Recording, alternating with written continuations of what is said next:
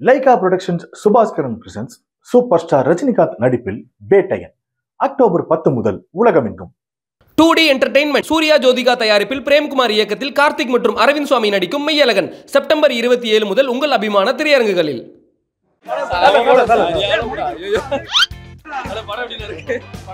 Yeah, கியூட்டா இருக்கு ஆக்சுவலா ரொம்ப நாள் எதிர்பார்த்த படம் சூப்பரா வந்தது. படம் நல்லா இருக்கு ப்ரோ சூப்பர் சூப்பர் சூப்பர் ரொம்ப நல்லா இருக்கு.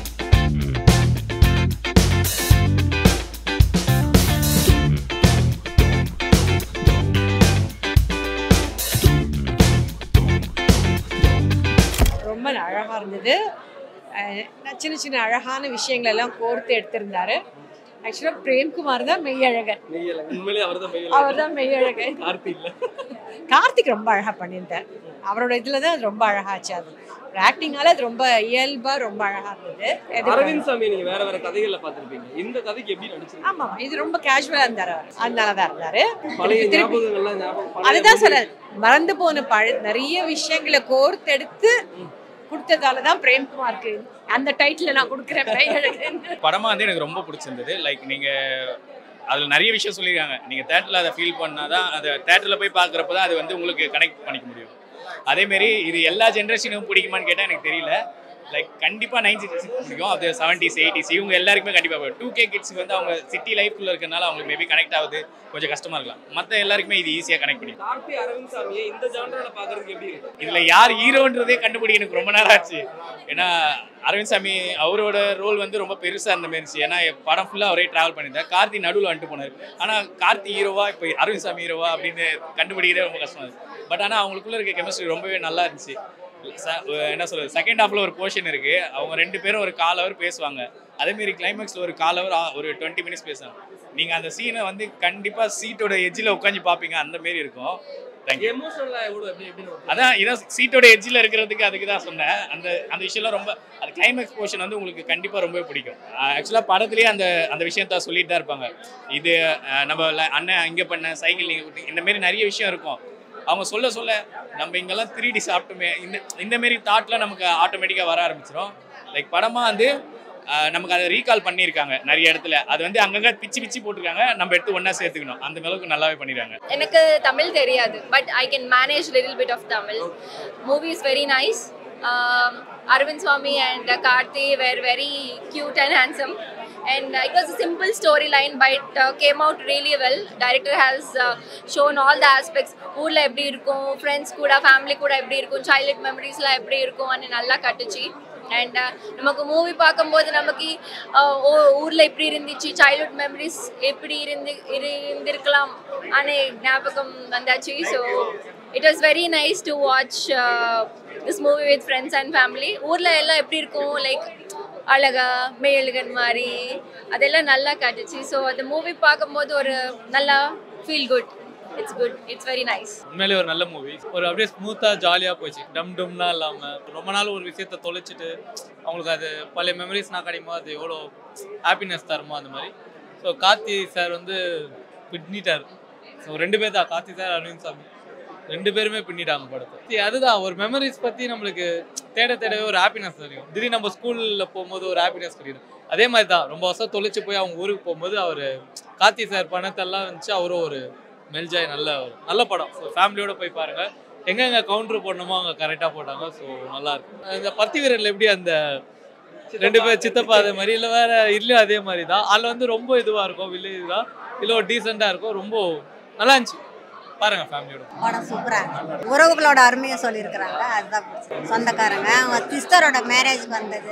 அதெல்லாம் ரொம்ப டச்சிங்காக இருந்தது. கார்த்தி நடிப்பு நல்லா இருக்கு அரவிந்த் சாமி ரொம்ப நல்லா இருக்கு அப்போல்லாம் நாங்களாம் அவர் ரொம்ப ஃபேன் இப்பயும் அவரோட ஃபேன் தான் நாங்களாம் கார்த்தி நல்லா நடிச்சிருக்காரு. கார்த்தி வந்தப்புறம் படம் ஃபுல் ஸ்பீடில் போயிடுச்சு. ஃபர்ஸ்ட் கொஞ்சம் நல்லா இருந்துச்சு அப்புறம் நல்லா ஸ்பீடாக போச்சு. கார்த்தி வரவன் தான் படம் நல்லா இருக்கும். அவர் இல்லைன்னா நல்லா இருக்க மாதிரி இருக்கும். ரொம்ப நாளைக்கு அப்புறம் ஒரு குடும்ப சப்ஜெக்ட் பார்த்த மாதிரி இருக்கு. உண்மையிலேயே செவன்டிஸ் எயிட்டிஸுக்கு பிடிச்ச படம். நல்ல படம் ஓடணும்னு நான் நினைக்கிறேன். ஓடும் கண்டிப்பாக இந்த படம் அனௌன்ஸ்மெண்ட்டில் இருந்தே ஒரு சில எக்ஸ்பெக்டேஷன் கிரியேட் பண்ணிகிட்டே இருந்தது. பிகாஸ் நைன்டி சிக்ஸ் படம் எடுத்த பிரேம்குமார் அவர்களோட ரெண்டாவது படம். கிட்டத்தட்ட நைன்டி சிக்ஸ் வந்து ஒரு ஆயிடுச்சு. ஒரு அஞ்சு வருஷத்துக்கு மேலே ஆச்சு. ஸோ அவரோட ரைட்டிங் அப்படிங்கிறது ஒரு தனி ஒரு ப்ளசண்ட்டான ஒரு ரைட்டிங் ஒரு feel good writing so Meiyazhagan போஸ்டர்ஸ்லேருந்து இப்போ லாஸ்ட்டாக ரிலீஸ் ஆன ட்ரைலர் வரைக்குமே ஒரு எக்ஸ்பிரஷன் கிரியேட் ஆயிருந்துச்சு. ஒரு நல்ல ஃபீல் குட் எமோஷனல் ட்ராமா ரொம்ப நாளுக்கு அப்புறமா தமிழ் சினிமாவில் வரப்போகுது அப்படின்னு. அதை இந்த படம் ஃபுல்ஃபில் பண்ணியிருக்கா? நம்ம எக்ஸ்பெக்டேஷனை அதை வந்து பூர்த்தி பண்ணியிருக்கா அப்படின்னு கேட்டால் தரமாக பூர்த்தி பண்ணியிருக்கு அப்படின்னு தான் சொல்லணும். பிகாஸ் ஒரு மூணு மணி நேரம் படம் இது. ரெண்டு மணி நேரம் ஐம்பது நிமிஷத்துக்கிட்ட ஓடக்கூடிய ஒரு படம். எனக்கு ஹானஸ்ட்டாக சொல்லணும்னா அந்த ஒரு சலிப்பு அப்படிங்கிறது தட்டவே இல்லை. எனக்கு ஒரு சின்ன ஒரு தயக்கம் இருந்தது. ஒரு மூணு மணி நேரம் படத்துக்கிட்ட வருது.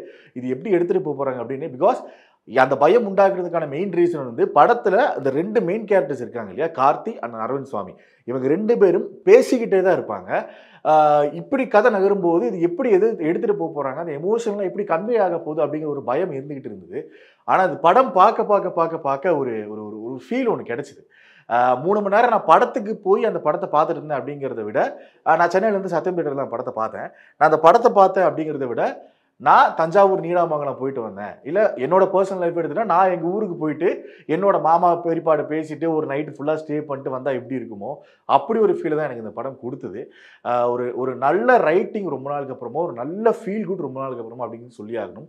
அண்ட் மெயினாக இந்த படத்தில் ரைட்டிங்காக பிரேம்குமார் அவர்கள் யூஸ் பண்ண விஷயங்கள் அந்த எமோஷனை ஒரு ஒரு தங்கச்சி அண்ட் அண்ணனுக்குள்ள ஒரு சென்டிமெண்ட் எக்ஸாம்பிளுக்கு தங்கச்சி அண்ணன் சென்டிமெண்ட்னா கூட பிறந்ததில்லை. ஒரு ஒரு கசின்ஸ்க்கு உண்டான அந்த ஒரு ஒரு பாண்டிங் ரிலேஷன்ஷிப் ஃபர்ஸ்ட் ஹாஃப்ல ஒரு முக்கியமான சீக்வன்ஸ் ஒரு கொலுசை வச்சு ஒன்று ப்ளே பண்ணியிருப்பாங்க.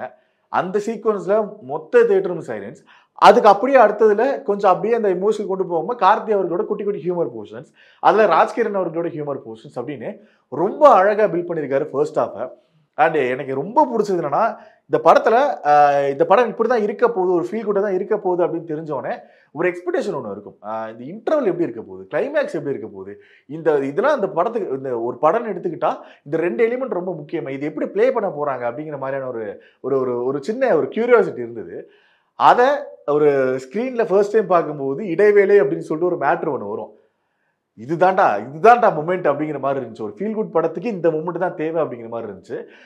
அண்ட் கிளைமேக்ஸ் ஆல்சோ ஒரு ஒரு ஒரு மேட்ரு ஒன்று ரிவீல் ஆகிட்டே இருக்கணும். அரவிந்த் சாமி அவர்களுக்கு ஒரு தயக்கம் இருந்துக்கிட்டே இருக்கும். அந்த தயக்கத்தை வெளிக்காட்டுற விதம் அது ஃபுல் ஃபுல்லாக ஃபுல் ஃபுல் ஃப்ளெஜாக வெளி வெடிச்சிட்டு வெளியே வந்து லாஸ்ட்டில் அந்த மெய்யழகுன்னு ஒரு டைட்டில் வரும். அது வந்து என்ன சொல்கிறது அந்த ரெண்டு பேரோட பர்ஃபார்மன்ஸ் தான். ரொம்ப அழகாக பண்ணியிருந்தாங்க. அண்ட் இன்னொரு முக்கியமான விதம் இந்த படத்தில் எனக்கு ரொம்ப ரொம்ப ரொம்ப பிடிச்ச இன்னொரு ஃபேக்டர் வந்து செகண்ட் ஆஃப் செகண்ட் ஹாஃப்ல பிரேம்குமார் அவர்கள் எடுத்துக்கிட்ட விஷயம். அஹ், அரவிந்த் சுவாமி இவங்க ரெண்டு பேர் அவங்களுக்கு பெருசாக இன்ட்ரோ அப்படிங்கிறது கிடையவே கிடையாது. அந்த இன்ட்ரோ சீன்ஸு அப்படி ஒரு மாசாக ஒன்று வரணும் இல்லை கிளாஸாக ஒன்று கொடுக்கணும் அப்படிங்கிறது கிடையவே கிடையாது. சிம்பிளான இன்ட்ரோ சீனு ஆனால் இதெல்லாம் தாண்டி ஒருத்தருக்கு முக்கியமான இன்ட்ரோ சீன் ஒன்று இருக்குது யாருன்னா ஜல்லிக்கட்டு காளை ஒரு காங்கேயம் காளை ஒன்று இருக்குது ஒரு கிட்டத்தட்ட ஒரு பதினஞ்சுலேருந்து ஒரு இருபது நிமிஷம் போர்ஷன் அது. நீங்கள் படம் பார்க்க பார்க்க பார்க்க உங்களை அறியாமல் ஒரு சிரிப்பு உங்களுக்குள்ளே வந்துக்கிட்டே இருக்கும். Lyca productions Subaskaran presents super star Rajinikanth நடிப்பில் பேட்டையன் அக்டோபர் பத்து முதல் உலகமெங்கும். Two D entertainment Suriya Jyothika தயாரிப்பில் பிரேம்குமார் இயக்கத்தில் கார்த்திக் மற்றும் அரவிந்த் சுவாமி நடிக்கும் மெய்யழகன். செப்டம்பர் இருபத்தி ஏழு முதல் உங்கள் அபிமான திரையரங்குகளில்.